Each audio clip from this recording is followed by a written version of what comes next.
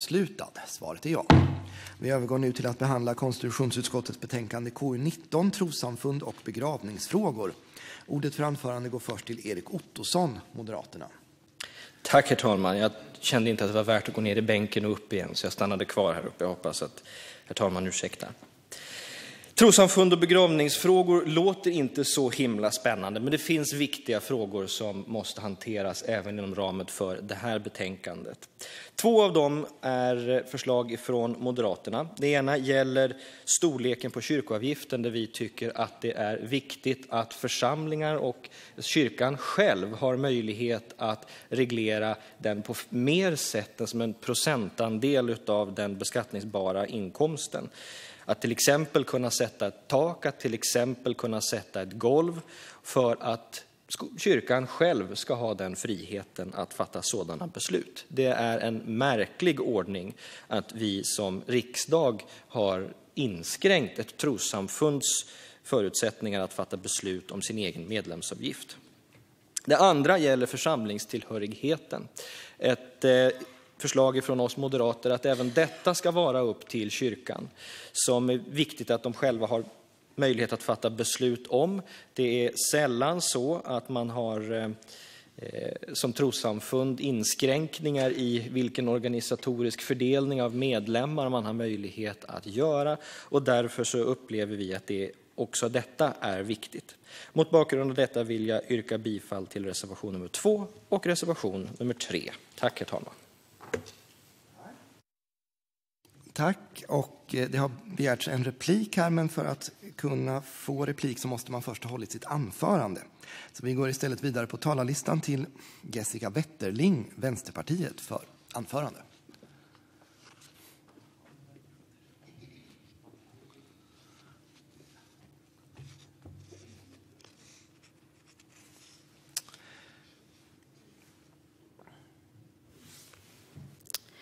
Herr talman! I betänkande KU19 behandlas de motioner från den allmänna motionstiden som berör trossamfund och begravningsfrågor.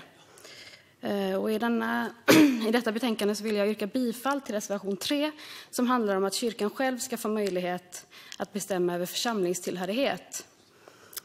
Eh, I Vänsterpartiet så anser vi att det är rimligt att Svenska kyrkan själv får bestämma. För oss är det ointressant hur Svenska kyrkan väljer att göra sin församlingsindelning eftersom vi tycker att det är viktigt att föreningen Svenska kyrkan självständigt får bestämma hur de väljer att göra sin indelning.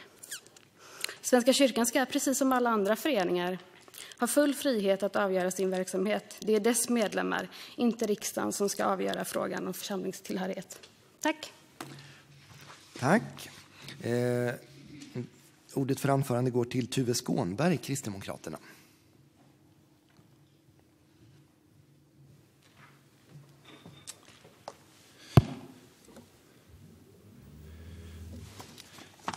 Tack, eh, tack herr talman. Eh,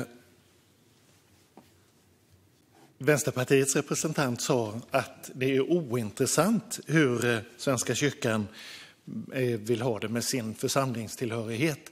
Så långt skulle inte jag vilja sträcka mig. Däremot så är det ingenting som eh, vi här i eh, riksdagen ska besluta om.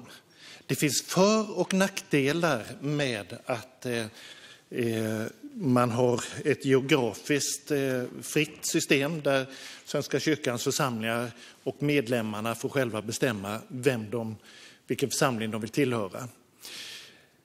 Och det finns nackdelar med det systemet. Det skulle kunna innebära nackdelar med, med ekonomin och ansvarstagandet i den lokala församlingen. Eh, jag skulle vilja säga att det är ett mycket intressant problem, men det är inte vårt. Eh, jag Genom åren så har eh, Kristdemokraterna, Moderaterna och flera andra partier motionerat om och om igen att kanske vi skulle låta bli att lägga oss i hur Svenska kyrkan vill ha det och ta ifrån den våta filt som, eh, som eh, vår överhöghet eller vår jurisdiktion här har på den här frågan. I en utredning från 2004, som förvisso har några år på nacken, så står det det står klart att det inte är möjligt att enbart genom ändringar i kyrkoordningen införa denna modell. Det krävs ändringar i föreskrifterna i lagen om Svenska kyrkan om tillhörighet till den församling där man är bosatt. Detta väcker frågor kring den särskilda ställning lagen om Svenska kyrkan har som en grundläggande del av beslutet om ändrade relationer mellan staten och Svenska kyrkan.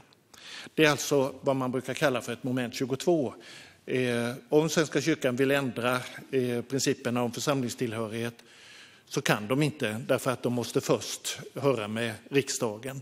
Om riksdagen vill ändra sig så säger vi att ja, men det är Svenska kyrkans sak att bestämma och därför gör vi ingenting. Och på det viset så händer det ingenting. Och det är kanske en bra ordning det också, men i så fall ska det vara på grund av ett medvetet ställningstagande. Vi vill inte lägga oss i den här frågan. Eh, den här frågan var uppe senast förra mandatperioden och nu så går den här mandatperioden utan något ställningstagande. Det är lite synd, men så här jobbar KU, eh, herr talman. Det, det tar lite tid, men i slutet så blir det bra. Eh, vi tror att den här frågan också så småningom kommer till att lösas och tänker inte använda mer muskler eller högre tonläge än vad som absolut behövs för att det så småningom blir en bra Eh, ordning. Så vi räknar med att eh, med tiden så kommer alla partier till att inse att detta är den bästa ordningen. Och därmed eh, yrkar jag bifall till reservation 3. Tack. Tack. Ordet för anförande går till Bengt Eliasson. Han tycks inte vara här. Eh, utan då lämnar vi istället ordet för anförande till Per-Arne Håkansson, Socialdemokraterna.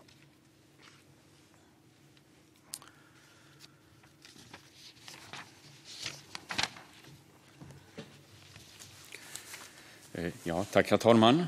Och, eh, Svenska kyrkan är ju en öppen folkkyrka och så eh, fungerar den och den finns i hela Sverige. Och församlingar och pastorat över hela landet gör viktiga insatser för att i samarbete med kommuner, föreningsliv och organisationer skapa mötesplatser och finnas till hands för människor i olika situationer när helst någon har behov av det.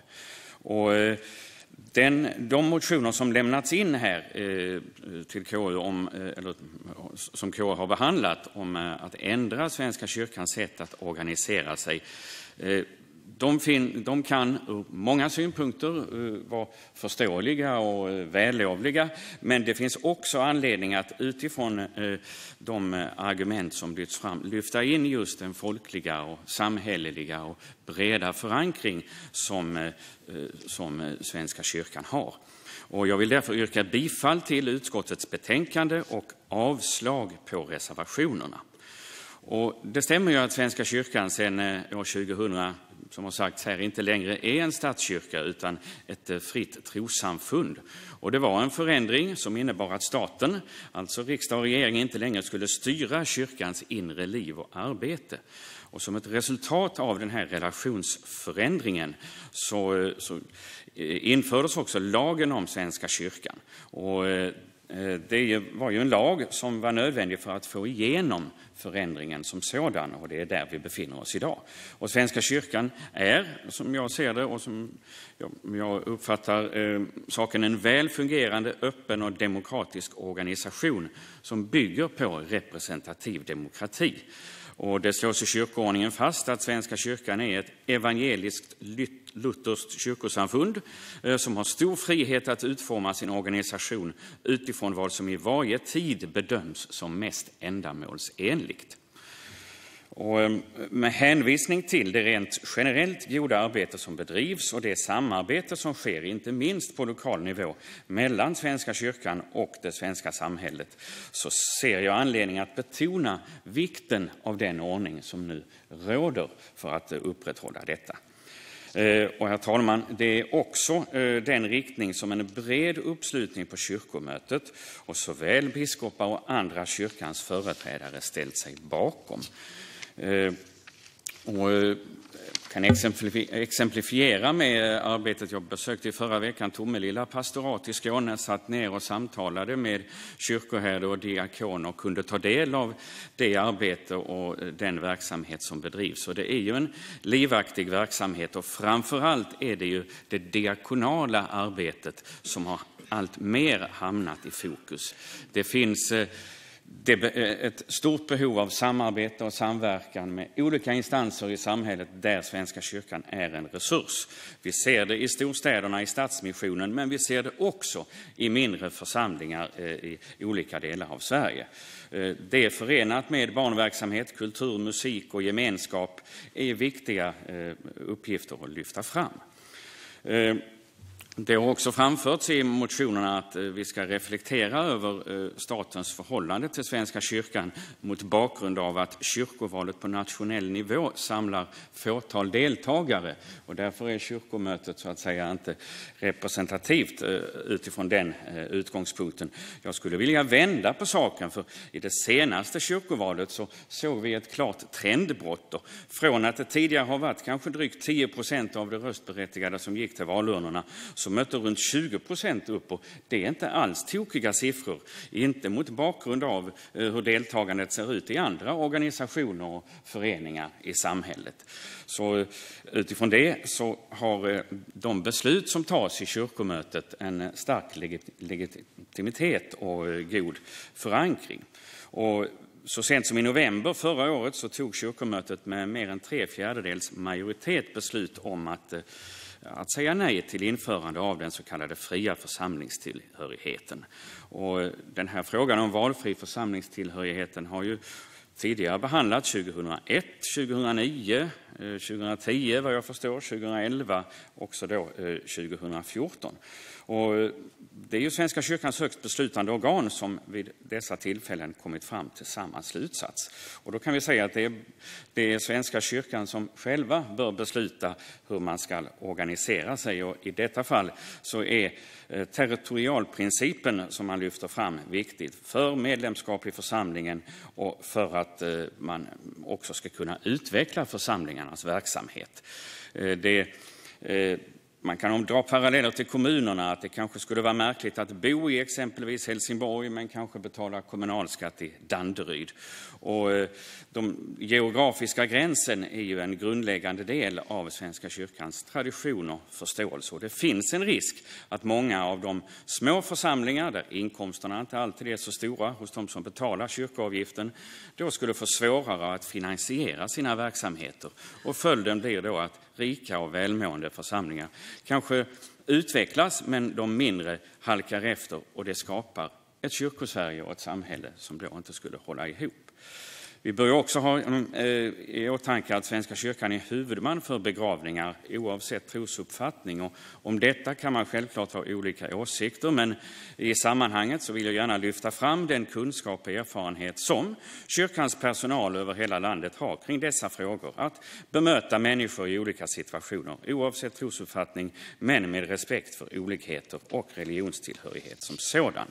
Eh, men det är självklart så att det finns all anledning att se över den bästa möjliga organisationen för Svenska kyrkan. En eh, utredning är på gång och eh, det är är välkommet med en sådan. Men jag vill betona den samhälleliga, starka folkliga förankringen och den öppna folkkyrkans den öppna, öppna folkkyrkans tillstånd och situation som en viktig del. Tack för det. Tack. Ehm, ordet går nu till Linda Ylivainio, Centerpartiet, för ett anförande om max fyra minuter. Herr talman!